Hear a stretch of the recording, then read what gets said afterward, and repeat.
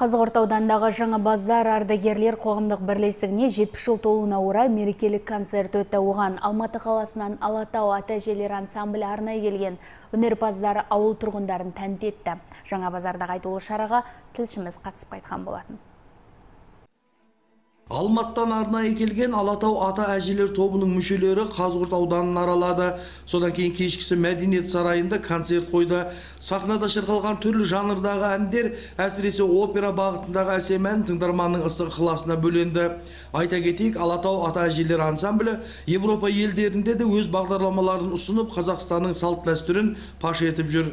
Экспоға қазақ киімімен барып, шет елден келген павильондардың алдында біздің дәстүрлі әнімізді ескі қазақи әнді орындадық бір жеті болдық содан келгеннен кейін біз алматы қаласындағы мектептер санаториялар сөйтіп алматы облысына шықтық жамбыл облысына концерттерді қойдық Тілеухан Тәжиева апамыз 70 жасында осы ансамбльге мүше болыпты. Бұл күнде 83 жаста алқымдаған әже қазақтың дәстүрлі әндерін орындап жүр. 2000 жылы осы алматы ауданына келдім. 2008-ден бастап әжелер ансамбліне қосылдым.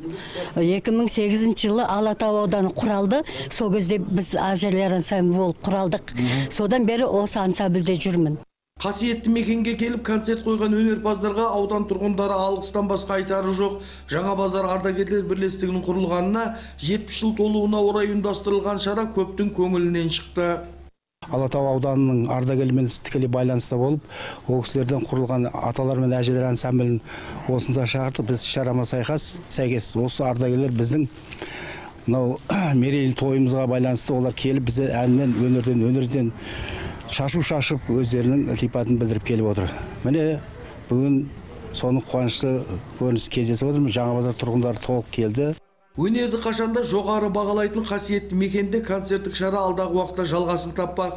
Көпшіліктің жүрегінен орын алған әуезді әндерге халықтың сұранысы күннен күнге артып келеді дейді ұйымдастырушылар. Қазығұрт ауданынан Кенжехан Дүйсенбі, Сапарбек Қалбұтаев, Диана Әлиқызы, жаңалықтар.